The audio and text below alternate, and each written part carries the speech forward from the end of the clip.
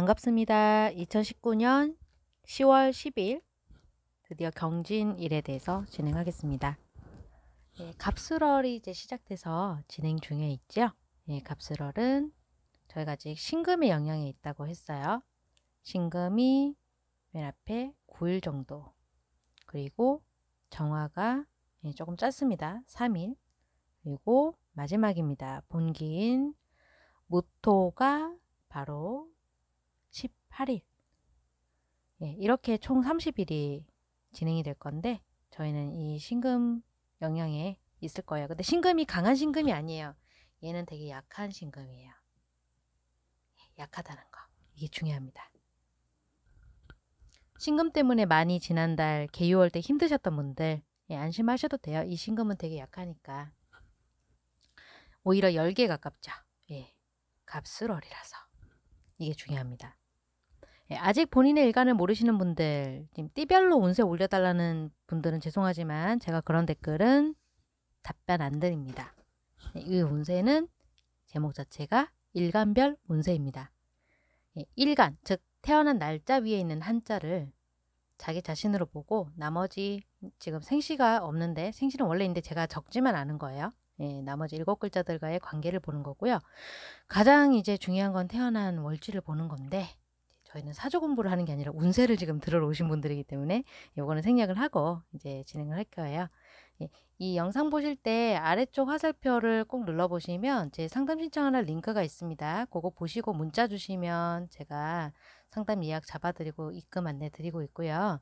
예, 1시간에 7만원입니다. 본인 상담에 대해서. 그리고 오프라인이나 뭐 공합 보시는 거는 가격이 당연히 올라가니까 예, 따로 링크 보시고 예, 가격을 확인 부탁드립니다.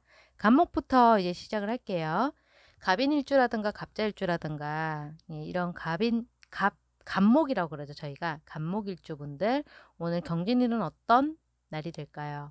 평관이 쇠지에 앉은 날입니다. 이 값을 월에 대한 것은 제가 따로 올려놨잖아요. 그 월별 운세를 참고를 해주시고 저희는 이름만 보면 되니까 평관이 쇠지에 앉았다는 것은 어떤 의미인지를 말씀을 드릴게요. 예, 간목 입장에서 관이니까 여기 있죠? 경진일의 경금. 여기 이걸 보시면 돼요. 오늘은 가정이나 회사에서 많은 도움을 받게 됩니다. 예, 이 도움이라고 하는 것이 내가 집중을 할 수 있게 도와주는 부분도 있고요. 또 굉장히 힘든 업무 영역이 있다고 해도 오늘만큼은 주변 직원들이나 예, 가족의 배려들에 의해서 또 응원에 의해서 빨리 끝내고 최대한 빨리 퇴근을 할 수 있는 하루가 되겠습니다. 예, 그만큼 즐거운 날이에요. 신나게 일하고 신나게 퇴근하시면 됩니다. 을목은 어떨까요? 을목, 을목분들은 관은 관인데 정관입니다. 음량이 다르기 때문에 관대지에 놓인 날입니다. 오늘 욕심은 좀 많이 앞설 수가 있어요. 내가 일 빨리 끝내야지, 일 완벽하게 해야지 이게 잘 안 됩니다. 손발이 따라주지 않는다는 것은 집중력도 많이 떨어진다는 뜻이고요. 그만큼 내가 믿을 만한 사람, 나의 실적을 가로챌 일이 없을 직원에게, 동료에게 꼭 일적인 체크를 받으시길 바랍니다. 왜냐? 실언이나 실수를 할 수 있기 때문입니다. 필터링 되지 않고 그냥 말이 헛나올 때도 있고요. 내 머릿속에만 있어야 하는 얘기인데 윗사람에게 함부로 말을 할 수도 있고 주제 넘은 일 처리를 할 수도 있습니다. 항상 그렇듯이 일은 함께 하는 거 잖아요. 그래서 동료 체크를 꼭 받으시길 바랍니다. 이제 병화입니다. 병화분들은요. 오늘 편제가 관대지에 앉은 날입니다. 병화 입장에서 금이 들어왔잖아요. 그래서 재성인 재성이라고 하는 거고요. 어, 편제는 좀 변화가 큰 부분을 얘기를 해요. 정제는 변화가 작은 걸 얘기하고요.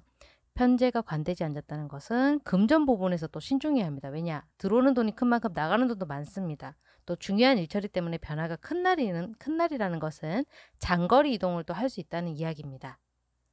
어, 그게 시 단위로 움직일 수도 있고 아니면 같은 시간에 움직일 수도 있는 건데 사람마다 개인마다 다 다르니까요. 어쨌든 병화분들은 오늘 이동이 들어올 수 있는 날이거든요. 본인이 움직이는 부분이고 돈도 들어왔다가 많이 나갈 수 있는 날이에요. 또 분실이라던가 도난을 또 받을 수가 있기 때문에 뭐, 뭐 10만 원, 15만 원 이런 현금들은 잘 간직하시는 것이 좋을 것 같아요. 가족 중에서 좀 꼼꼼한 분이 있다면 그분에게 현금을 보관을 맡기시는 것이 좋겠습니다. 어쨌든 돈의 흐름도 좀 크게 들어오고 많이 나갑니다. 본인의 이동도 그만큼 커지고요. 자, 정화 보겠습니다. 정화분들은 정제가 들어왔고 쇠지에 앉은 날입니다. 어, 이 역시 가까운 사람들에게 도움을 받게 되겠습니다. 근데 일적인 도움뿐만이 아니라요. 오늘 정신적으로 위기가 좀 몰려와요.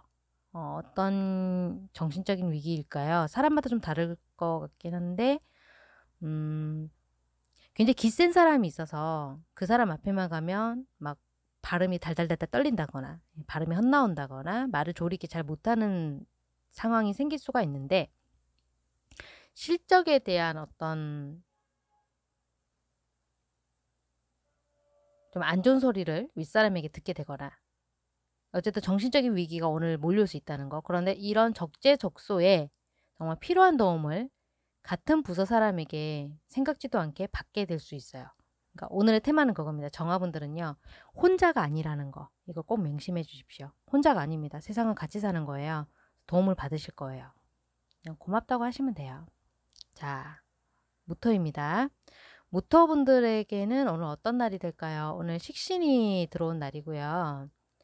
관대지에 앉은 날입니다. 식신이 관대지에 앉았다는 것은 이론은 굉장히 빠삭해요. 그런데 실천이 아쉽습니다. 계획에 따라서 착착착착 일을 처리를 단계별로 진행을 하게 되지만 유연성이 떨어져요. 그래서 아래 직원이나 내 주변 직원들에게 어, 왜 일을 저렇게 할까 이런 소리를 들을 수가 있습니다. 직접 들을 수도 있고 제3자를 통해서 돌려서 들을 수도 있지만 어쨌든 그것이 원망이나 원성이 될 수 있다는 거죠. 별로 기분은 좋지 않습니다. 그래서 멘탈, 멘탈 관리를 엄청 잘해야 하는 하루가 되고요. 또 본인의 단점을 단점을 기다리고 있는 분들이 있어요. 어, 그냥 하나 걸려라 이렇게 지금 기다리고 있는 반대편의 사람들이 있습니다. 직장은 늘 그렇잖아요. 파벌이 있습니다. 반대편 사람들 조심하시고 실책을 잡히지 않도록 웬만하면 꼼꼼하게 일하시는 건 좋은데 완벽할 수는 없잖아요. 그런데 그래도 좀 조심하시는 것이 좋을 것 같아요. 자, 기토 보겠습니다. 제가 너무 겁을 준 건 아닌 것 같습니다. 걱정되네요. 예, 겁먹지 마시고요. 자, 기토 보겠습니다. 저도 기토입니다. 예, 기토인데 이 기토분들께는 어떤 날이냐면 상관이 들어왔죠. 경금이잖아요. 상관이 들어왔고 이제 이 진이니까 얘는 쇠지에 앉은 날인데 내 일과 상관없는 일들을 지원을 해주고 주변 사람들의 일을 도와주게 됩니다. 예를 들어서 뭐 포토샵 같은 거 아니면 영상 편집 이런 그래픽 작업들을 작게 도와줄 수도 있고요. 아니면 가족의 행정 처리 업무 뭐 동사무소를 간다거나 시청에 간다거나 경찰서를 간다거나 이런 행정처리 업무를 하러 대신하러 장거리 이동을 하신다거나 어쨌든 본인의 일이 아닌 것을 심부름하러 가시는 거예요 오늘. 근데 이게 손해가 아닙니다. 가까운 미래에 대가를 받게 되기 때문에 가족의 일뿐만이 아니라 친구의 일이기도 해요. 지금 비견이기 때문에요. 음, 상관이 세지에 앉았다는 거는 지금 그 단어 문장 안에는 비견은 없지만 이 상관이 재성을 돕고 어, 이게 세지에 앉았다는 도움을 받는 거기 때문에 제가 볼 때는 온 그 비경 겁제의 영향도 좀 있거든요. 그래서 음, 가까운 미래 어쨌든 이분들의 대가를 받을 수 있다고 판단이 됩니다. 그리고 이제 경금 보겠습니다. 경술이라던가 경자일주라던가 경신일주라던가 이런 분들이 이제 경금 일간, 일간이라고 부르는데요. 비견이 되지요. 경진일은 비견이 양지에 앉은 날인데 가족, 형제, 자매, 친구 이런 분들의 도움을 받게 될 겁니다. 전혀 관계없는 분들 나는 형제도 없고 가족도 없어요 하시는 분들은 뭐 가족이나 친구 친구 중에서 가족은 없어도 친구는 있잖아요. 같이 동거하신 분들도 친구니까 이런 분들의 투자를 받게 되시거나 응원을 듣게 되시거나 일적인 도움 이런 것들을 받게 됩니다. 어쨌든 본인이 할 수 없는 것들, 내가 좀 아쉬운 것들 이런 것들을 주변에서 챙겨준다는 거죠. 기쁜 날이에요. 잘해주세요. 주변 사람들한테. 원래 잘하고 계시겠지만. 자, 신금 보겠습니다. 신금분들은요. 오늘 겁재가 들어왔죠. 겁재가 임묘지에 앉은 날입니다. 이게 진토가 임묘지예요. 네. 어, 뭐뭐 임묘지냐고요? 신금도 임묘지고요. 임수도 임묘지예요. 여기 진토가. 자, 신금은 그래서 함께 일하는 사람들의 상황이 굉장히 좋지 않아요, 오늘. 심지어 나한테 빌려달라 그래요. 이 신금, 신금분들한테 돈 빌려주세요. 돈 얼마 빌려줄 수 있어요? 아, 나 좀 급한 돈이 좀 필요한데 빌려주세요. 이런 부탁이 들어올 수도 있고 보증을 부탁해 오는 분들도 계세요. 가까운 사람들입니다. 신중하게 고민하시고 결정하시고 대처하시길 바랍니다. 이제 임수죠. 임수분들도 오늘 임묘지긴 한데 이게 인수, 인수가 돼요. 그것도 편인입니다. 편인이 임묘지에 앉은 날인데요.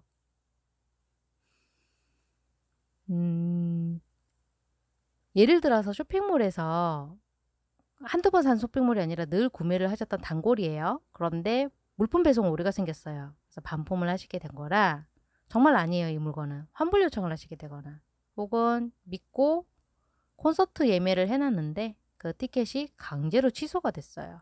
뭐 해외여행을 어렵게 가을에 휴가를 내서 가려고 숙박업소랑 다 예약을 해놨는데 이것도 강제 취소당했어요. 해당 나라의 뭐 치안이 어쩌고 저쩌고 해서 강제 취소가 됐는데 이런 쉽게 일어날 수 없는 오류들 나에게는 인연이 없다고 생각했던 일들이 오늘 연달아 일어날 수 있는 하루입니다. 예, 그럴 때가 있습니다. 자 이제 개수 볼까요? 개수분들은요. 정인이 양지에 앉은 날인데요. 어, 본인이 예전에 서류를 냈어요. 어떤 회사에 이직을 하려고. 그런데 어, 나랑 어차피 그 회사에 들어가려고 해봤자 실력이 안 될 거야 라고 거의 낙담하고 있었는데 면접 제의를 받을 수 있고요.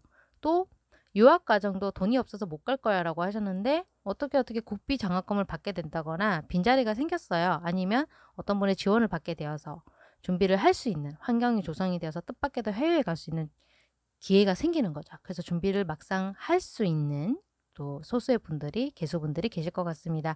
본인에게 어쨌든 새로운 기회들이 생겨난다는 것이 포인트고요. 그리고 또 좋은 일이 있어요. 직장 다니시는 분들 중에서 예전에 아니면 조만간 어, 가까운 과거에 실책을 하셨거나 실언 등으로 어떤 일적인 기회를 잃으셨던 직장인분들 그런 분들은 다른 더 좋은 환경으로 갈 수 있는 기회가 들어왔습니다. 오늘 하루가. 물론 오늘 하루뿐이긴 한데 명예 회복을 할 수 있는 기회들이 오늘 잠깐 들어왔어요. 그래서 이 기회를 좀 잡으셨으면 좋겠습니다. 자, 이렇게 전체적인 일간을 또 진행을 해봤고요. 오늘도 고생 너무너무 많으셨습니다. 예. 힘내시고 조금만 더 견디시면 주말이 또 다가오죠. 예, 모두 모두 힘내시고 저는 또 다른 영상을 찍을 때 뵙도록 하겠습니다. 네, 또 뵙겠습니다. 감사합니다.